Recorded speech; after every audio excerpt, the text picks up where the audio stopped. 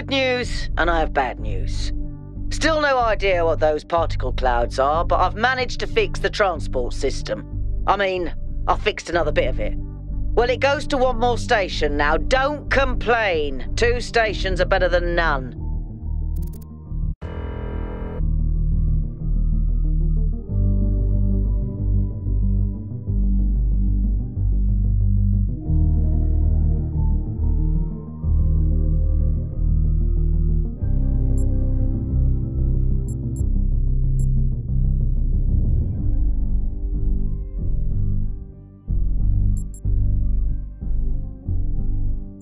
If I didn't know any better, I'd say it was sabotage.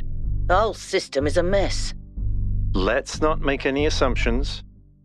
Yaqut, what does the next site look like? It's a plateau in the mountains. Seems like more of an open area with scattered structures, less enclosed. Couldn't tell much from the drone feed. There's a lot of trees. Looks pretty though.